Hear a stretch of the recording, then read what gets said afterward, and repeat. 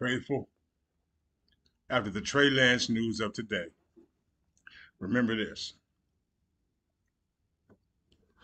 Our coachy poo, Kyle, he still thinks he's 16 years old.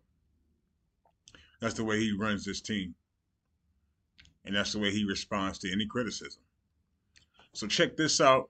Leave a comment. Let me know what your thoughts are. Credit to John Chapman on Twitter for the reminder on the clip. Like the video, share the video if you enjoy, and if you're new, subscribe to the channel. I need you here with me throughout this motherfucking season that we got coming. Y'all be safe. I thought that could be an advantage for us, uh, especially when you look into stuff that just came out today. Stuff that, I mean, you never know with this league. And if the whole NFL is assuming you're doing one thing and you're not doing that, I'm not going to work um, hard, and John, we're not going to work hard to correct that.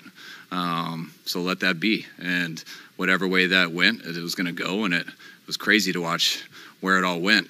Um, but I, no one has known anything but us. So, so it's been fun to watch it. I haven't been in many situations in my career like that. And when you get an opportunity to go through something like that, it is really cool to find out people about people in your building, how they handle it, it's really cool to kind of watch people in the media too a little bit and just see who gives opinions, who gives some sources that you watch it and it's you're like, all right, I know that's not true. So where's that? And you just start, you get to see people for two months and how things are. And I haven't been in many situations like that. And it was kind of neat to see. You learn a lot about your organization, you learn a lot about other people. And um, but you try to lower your head and you try to do what's right and not be affected by any of that.